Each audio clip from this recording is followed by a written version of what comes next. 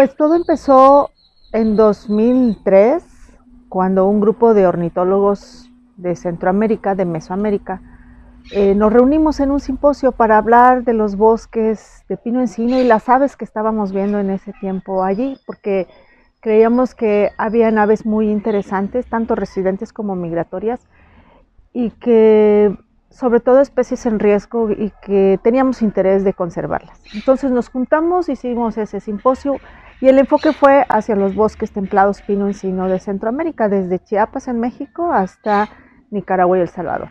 Elegimos al chipe mejillas doradas porque es una especie que migra desde el sur de Texas hasta las montañas del norte de Centroamérica. Es una especie que está catalogada por la Unión Internacional de la Conservación de la Naturaleza como en peligro de extinción.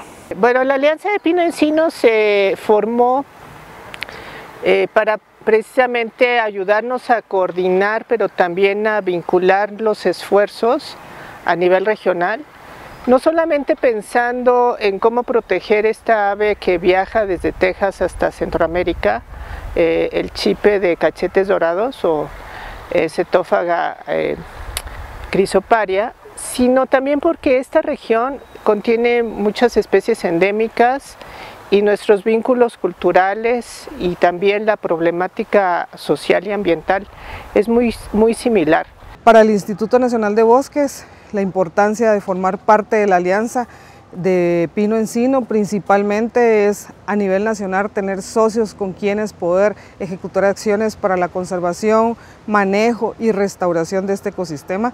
Y a nivel regional pues la ventaja que tenemos es poder conocer esas experiencias que se tienen en otros países que nos puedan ayudar a nosotros a mejorar nuestra forma de actuar en el manejo de estos ecosistemas. The bond shared between conservation agencies in Texas and the United States and the Alianza over the last 20 plus years has been a critical component of fulfilling important conservation goals, including species status reviews and recovery plan revisions, for example, mandated by the U.S. Fish and Wildlife Service and facilitated through Texas Parks and Wildlife, where I was an endangered species biologist for over 20 years.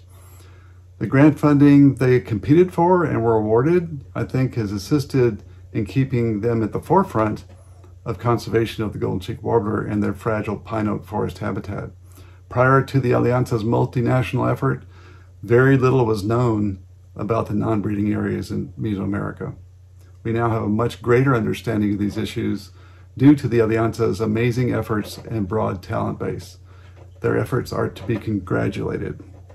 La importancia de trabajar con el chipe mejillas doradas es que al ser una especie migratoria nos, nos, ha unido a diferentes países. Inicialmente comenzamos estudiándola para conocer sus diferentes requerimientos y también para conocer aquellos sitios, sitios críticos.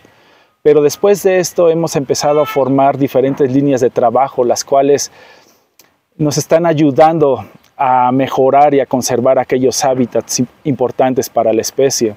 Entonces, la importancia de trabajar con una especie migratoria es que las acciones han trascendido bar barreras políticas y geográficas.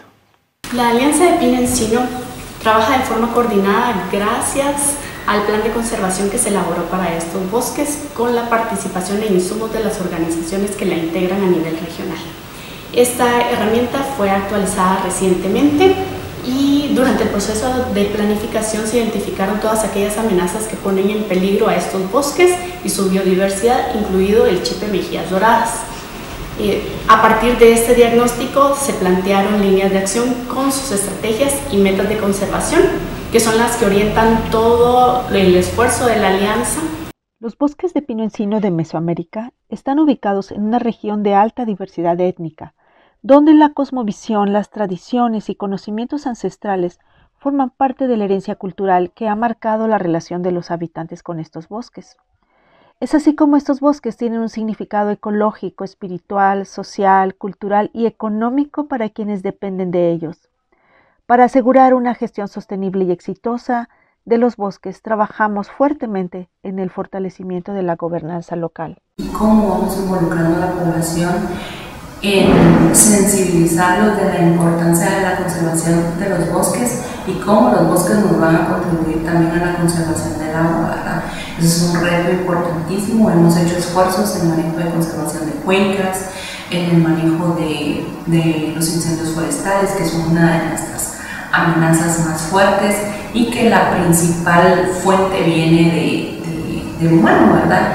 Creo que este trabajo que, debemos hacer debe ser un trabajo muy fino, eh, muy dedicado con, con, las comunidades, acompañarlas en su desarrollo, que permitan también a ellas conocer que hay modelos de conservación que hacen posible tener un buen aprovechamiento de los recursos naturales. Los retos tienen que ver con que no toda la tierra forestal está bajo manejo sustentable. Hay una presión por el crecimiento urbano muy, muy fuerte que deriva pues, en, la extracción de, de, los recursos como leña, eh, pinos para la construcción y con el tema del recurso agua pues también se deriva mucho de la deforestación y el cambio de uso del suelo.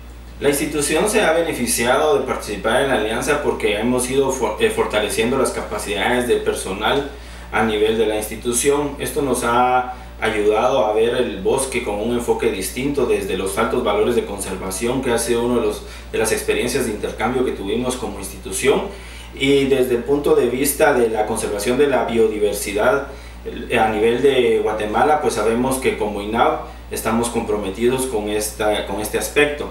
Estos intercambios y esta relación que ha existido con otros países ha sido prioridad, ha sido importante para conocer otras experiencias vividas eh, con otras instituciones a nivel internacional. En este proceso de conservación, pues las áreas protegidas han jugado un papel importante, dado que, eh, digamos, ha habido todo un proceso de desarrollo eh, que, ha, buscado que las comunidades que se encuentran en estas áreas protegidas se involucren en el proceso de conservación. Y ahí entonces la Alianza de Pinoncido ha jugado un papel importante porque pues de alguna forma eh, ha venido desarrollando proyectos, proyectos de conservación ligados al chipe Mejillas Doradas y entonces la alianza pues ha estado apoyando un poco este proceso de que las comunidades que se encuentran dentro de, estas áreas protegidas pues con proyectos que, que, vienen a ayudar al manejo forestal, al tema de fuego, a la educación ambiental, al monitoreo de la especie. Para cada uno de nuestros países, estas áreas protegidas eh, simbolizan los últimos sitios de conservación y preservación de nuestro patrimonio natural y cultural, en donde encontramos ecosistemas únicos que nos han permitido tener bienes y servicios ambientales que nos hacen desarrollar a nuestras comunidades. Es importante el, enfoque de manejo integrado de fuego en los bosques de, de, Latinoamérica o Mesoamérica, debido a que ahorita nosotros tratamos de ser más preventivos que reactivos ante la ocurrencia de incendios forestales. El manejo integrado del fuego eh, lógicamente incluye lo que es la prevención, el control y la gestión del fuego como tal. En Guatemala pues sabemos instituciones que ya estamos y contamos con una estrategia de, de, gestión del fuego y hacia eso es el enfoque que llevamos como instituciones. Queremos lógicamente saber todo lo aplicado al manejo integrado del fuego, desde el manejo de combustible, la prevención y eh, la respuesta al control de incendios forestales, y no digamos la rehabilitación de las áreas afectadas por los mismos. ¿Por qué es importante el MIG para los bosques de Mesoamérica? Porque sencillamente lo, les ayuda o contribuye a restaurar y conservar la composición, la estructura y el funcionamiento de los propios ecosistemas. El manejo, el proceso de manejo forestal comunitario también fortalece la capacidad de empoderamiento de las comunidades para tomar decisiones sobre los recursos naturales y defender sus derechos. En este sentido también fortalecen la colaboración entre las comunidades, las autoridades locales y otros actores, Tal es el caso del pueblo indígena de Mozonte, que tiene estrechas relaciones con el gobierno local, el gobierno nacional y todas las agencias presentes en la zona, lo cual contribuye a una mejor gobernanza local. Por otro lado, este enfoque también a largo plazo garantiza la sostenibilidad del agua y los bosques, porque tiene un enfoque holístico, busca un equilibrio entre la producción forestal, la conservación de la biodiversidad y el bienestar social. De unos años atrás, este, alrededor de unas 500 este, empresas forestales comunitarias han surgido y se ha visto que estas comunidades pues han hecho un buen manejo de esos bosques, eh, enfocándolos principalmente a un manejo orientado a ecosistemas. los bosques de pino y encino pues no eran muy conocidos como concepto eh, en la región ni de mucho interés de parte de los estados, del gobierno ni de las instituciones, porque no conocíamos en realidad esta nueva eh, tendencia de manejo forestal. Y allí es donde empezamos a conocer que era un ecosistema rico en biodiversidad. Pues el bosque para mí eh, significa vida, porque va muy ligado al agua. Entonces teniendo árboles puede haber infiltración a los mantos freáticos, puede haber escorrentías, frenar la, erosión del suelo, lo que ayuda a que haya agua eh, en los manantiales y repiten en los mantos freáticos. Además de que los árboles ayudan a, frenar el cambio climático al capturar carbono y otras eh, sustancias no deseables que se encuentran en la atmósfera como los gases de efecto invernadero.